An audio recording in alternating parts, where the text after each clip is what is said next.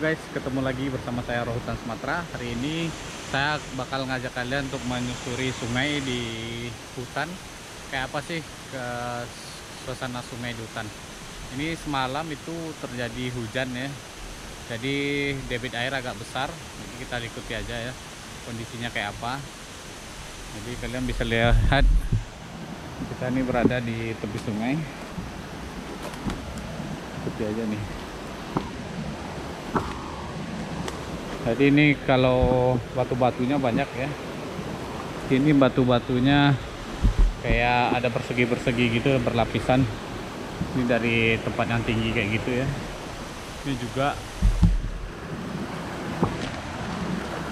Ini harus hati-hati karena hujan semalam. Jadi itunya ada licin, ada ini kayak gini, lumut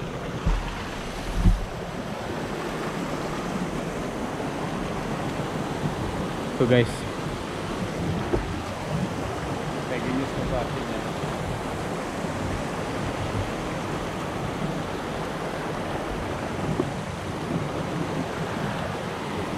jadi di hutan pasti banyak uh, bebatuan yang unik-unik ya, dan sangat masya Allah ya amazing sekali. Kita lanjut lagi terus ke bawah.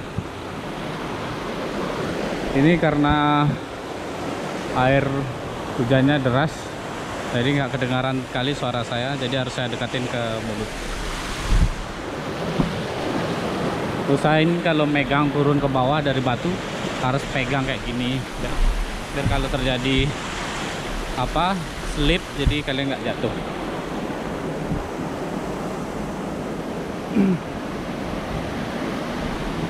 Amazing kan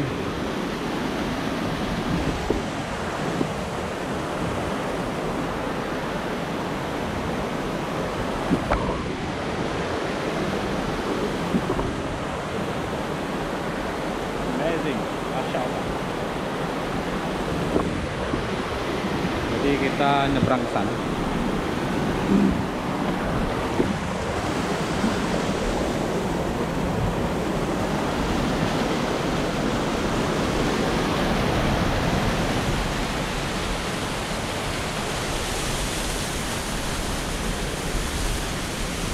Lihat batu-batunya besar-besar ya.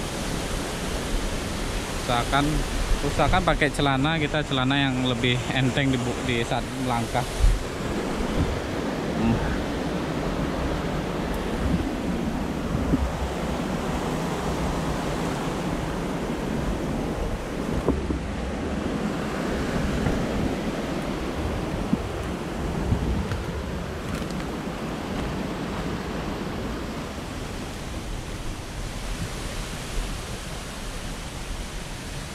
makin bawah kan semakin datar lokasinya kan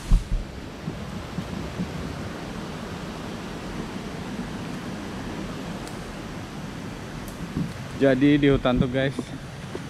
Ya, jadi di hutan tuh ya. Suasananya kayak gitu di bawahnya tuh kayak terang gitu karena banyak daun-daun yang udah jatuh dari hutan. Jadi kayak gini bawahnya. Ini ada sumber mata air dari atas lagi. Makanya saya bilang kalau kita di hutan mau cari air tuh cari yang situasinya kayak gini berarti situ turunnya jadi dia makin lama makin ke bawah. Sampai ketemu anak sungai kayak gini kan. Lihat pohonnya besar nih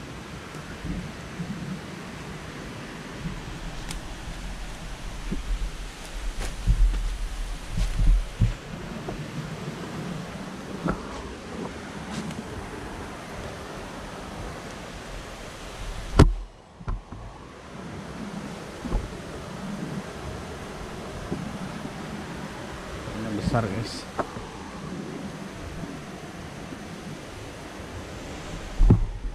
Ini pohonnya besar kali.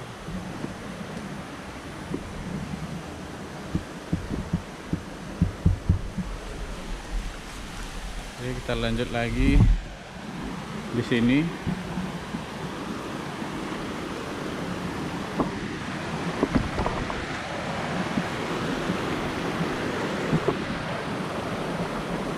tadi guys rambutnya.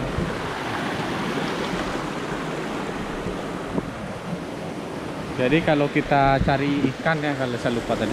Kalau cari ikan cari tempatnya kayak gitu. Yang ada lubuk itu artinya lubuk. Kalau lubuk itu biasanya ikannya ngumpul di sana semua. Kalau masih jalur ini yang terlalu dangkal biasanya ikan-ikan kecil. Tapi kalau ikan besar-besar di daerah sana itu oke kita lanjut lagi ke bawah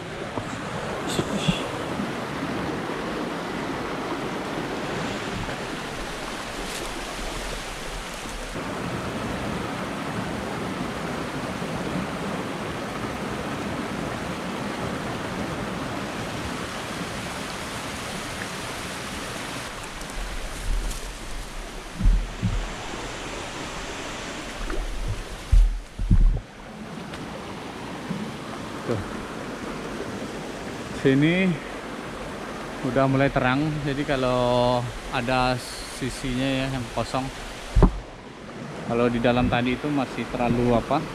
Masih terlalu gelap, pohonnya beradu. Kalau di sini udah terang, terang. Ini ada juga tanaman sambung bisa dimakan bunganya.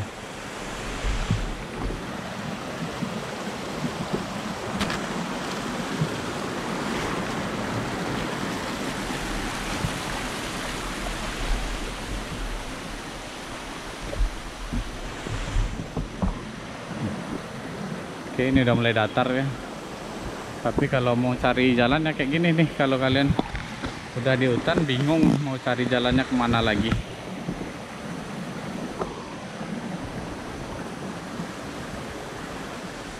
Kalau terus saja nanti lama-lama kita jauh semakin jauh. Jadi itu aja dulu guys. Eh, Perjalanan kita masih jauh ke bawah jadi biarlah 5 menit dulu untuk jalan-jalan di hutan. Biar kalian tahu kayak apa keadaan sungai di hutan. Air nih untuk air nih cukup eh, karena hujan semalam ya jadi airnya agak keruh dikit. Tapi mungkin safety lah kalau dimasak ini selama airnya nggak berasa berbau itu aman. Oke guys kita nih mau balik lagi. Jadi jalurnya kayak gini nih karena semakin ke tepi hutan itu makin semak. Jadi harus waspada juga. Harus dilihat gitu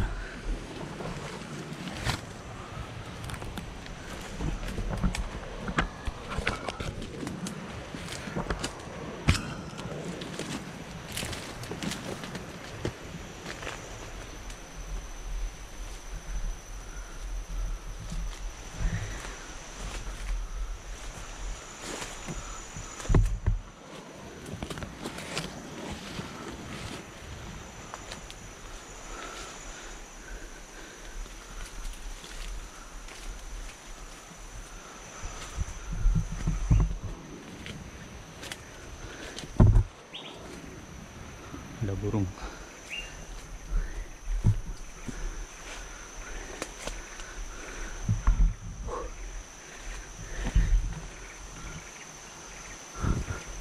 Ada burung butilang emas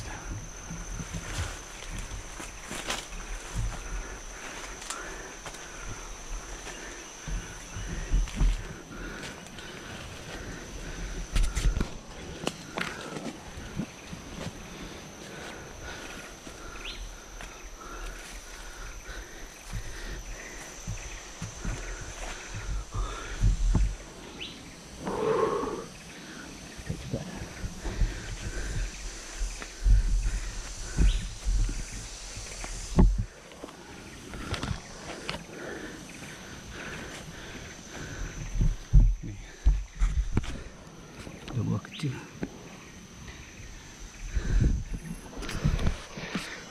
ini enak juga. Kayak berry kan.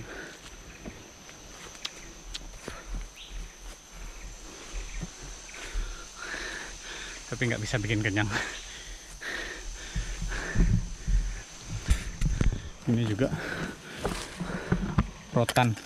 Rotan ini ada yang bisa bilang bisa dimakan umbutnya tapi nggak semua orang bisa makan. Karena menurut saya itu pahit ya bagi yang lain. Saya mah bisa. Tapi kalau ada air bisa juga. Ini lagi musim buah. Banyak nih berinya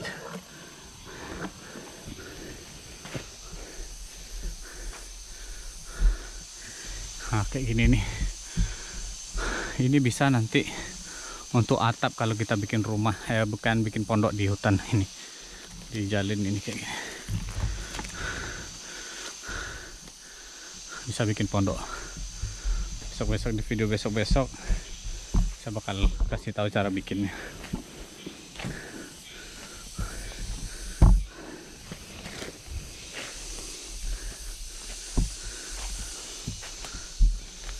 Ini rotannya udah mau lebih panjang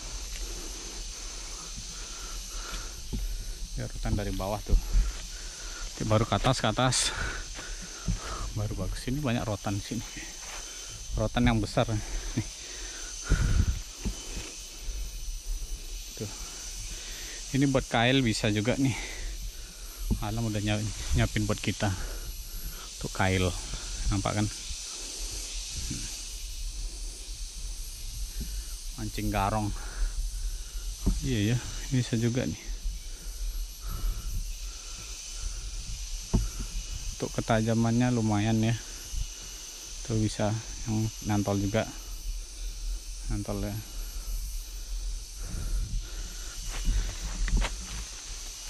Tuh ini yang besar ternyata rotan besar tuh ke atas. Tuh di bawahnya. Yang bisa diambil tuh di bawahnya aja. Karena ini belum nih. Nanti dia udah makin tua baru kurang-kurang kurang kayak video saya sebelumnya. Kayak gitu tuh ambil ini kayak daun. Apa itu namanya? Yang harum vanile. Mirip vanile kan? Tapi enggak kayaknya. Oke kita hampir sampai guys. Hampir keluar kita nih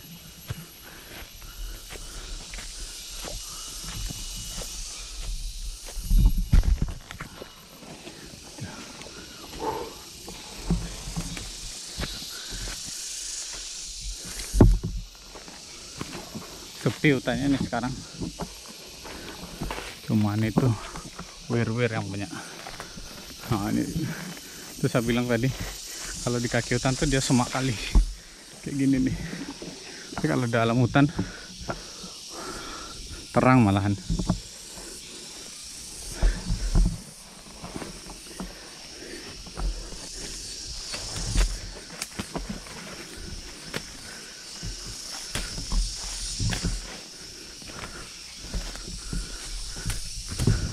ini tajam nih guys. Bahaya nih. Kalau disenggol dari bawah ke atas nih robek juga nih kulit. Namanya di sini siani nggak tahu tempat kalian apa. Ini tajam nih bahaya.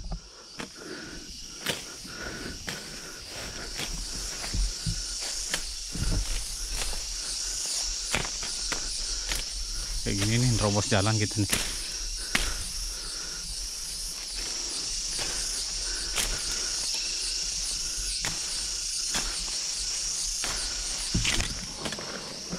Oh ya guys, ini bisa dimakan nih guys. Buah ini loh. Aduh, mantap kan. Daunnya kayak gini nih. Aduh, tuh kayak daunnya kayak gini. Tuh daunnya ya. Tapi ini hati-hati nih duri nih semua. Tuh duri semua. Jadi ini buahnya kayak berry kan. Kayak berry nih.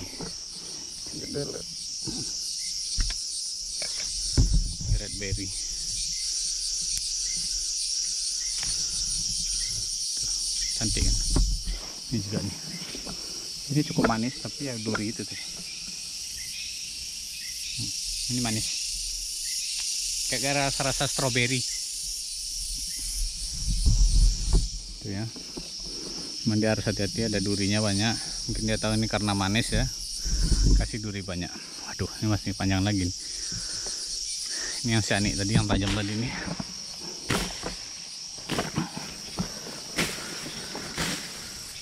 Makanya kalau di hutan ya minimal parangnya tuh panjangnya 30 cm atau 50 cm lah 50 nih panjang 50 cm jadi kalau pas lagi nebang kayak gini atau ketemu binatang buas ini jaraknya cukup jauh. Jadi kalau pendek malah tangan yang kena kan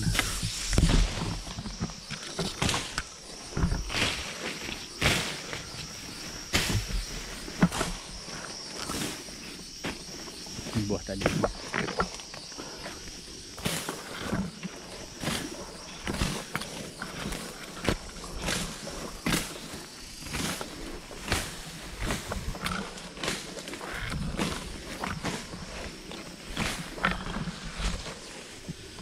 Oke, kita sampai keluar.